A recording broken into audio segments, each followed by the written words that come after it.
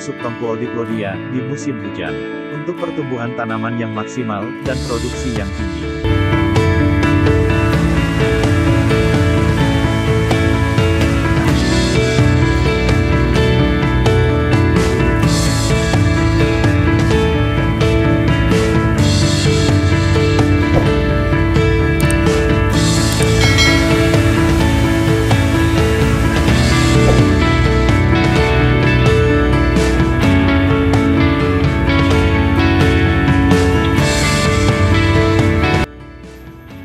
Assalamualaikum warahmatullahi wabarakatuh Alhamdulillahirrahmanirrahim Jumpa lagi kita para petani maju Indonesia dalam suasana yang rileks, santai, tetapi penuh dengan semangat dan motivasi untuk selalu melakukan hal-hal yang terbaik.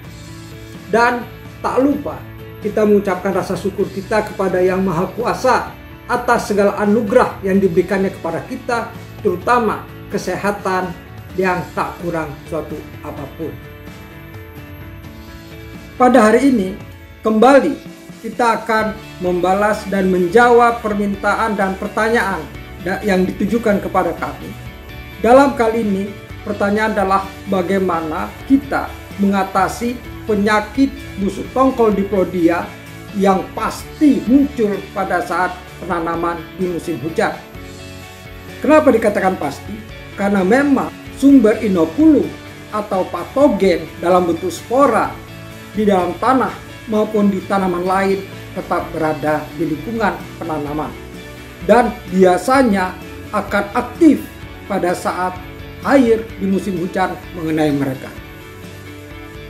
Kita semua menyadari pada saat di musim hujan maka serangan penyakit itu biasanya meningkat.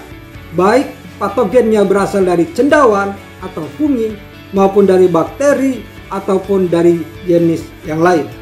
Sehingga persiapan kita untuk penanaman di musim hujan juga ekstra. Berkenaan dengan itu semua, maka program pengendalian untuk mengatasi secara tuntas Penyakit busuk tongkol yang disebabkan oleh Diplodia Aedes itu harus diawali dari mulai penanaman. Jadi dia harus terkontrol dari awal penanaman sampai dengan pasca panen. Karena di dalam penyimpanan pun bisa tersedang oleh spora dari penyakit Diplodia sehingga bisa mengakibatkan busuk tongkol dan akhirnya bijinya membusuk dan tidak berguna.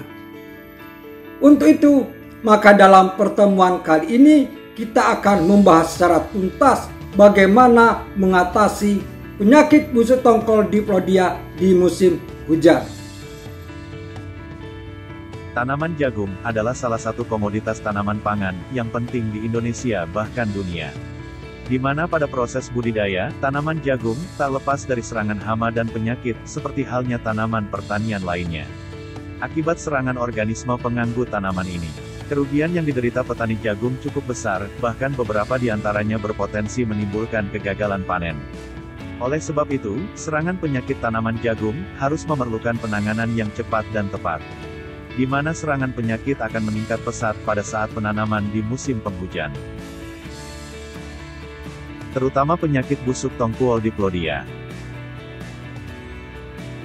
Busuk tongkuol dilodia disebabkan oleh infeksi cendawan Diplodia maidis yang memiliki perilaku penularan soil-borne, atau tular tanah, dan airborne atau tular udara. Hal yang memungkinkan perkembangan penyakit ini cukup cepat, terutama dalam penanganan pasca panen di musim hujan. Conidium teratur seperti jari dan berbentuk sabit. Lamidospora interkalar, bulat, berdinding tebal, hialin atau coklat pucat dengan dinding luar licin atau agak kasar, dengan garis tengah 10-12 mikron, membentuk rantai atau kumpulan. Gejala yang ditimbulkan, penyakit busuk tongkuol diplodia, yaitu, kelobot atau kulit tongkuol, yang terinfeksi pada umumnya berwarna coklat. Infeksi pada kelobot, setelah dua minggu keluarnya rambut jagung, yang akan menyebabkan, biji berubah menjadi coklat, kisut dan busuk. Miselium berwarna putih, Picnidia berwarna hitam, tersebar pada kelobot, infeksi dimulai pada dasar tongkuol, berkembang ke ruas batang, kemudian merambat ke permukaan biji, dan menutupi kelobot. Cendawan dapat bertahan hidup dalam bentuk spora dan pikmidia yang berdinding tebal pada sisa tanaman di lapang. Tongkuol yang terinfeksi diplodia biasanya dicirikan dengan adanya warna kecoklatan pada klobot. Faktor yang mempengaruhi penyakit ini, terutama berkembang setelah tanaman membentuk benang sari. Banyak infeksi terjadi pada suhu 16-20 derajat Celcius, di mana infeksi penyakit lebih banyak terjadi pada musim hujan. Biji yang terinfeksi bila ditanam dapat menyebabkan penyakit busuk batang diplodia. Program pengendalian penyakit busuk tongkuol diplodia di musim hujan. 1. Pemakaian benih jagung bibrida, yang tahan, bermutu dan unggul.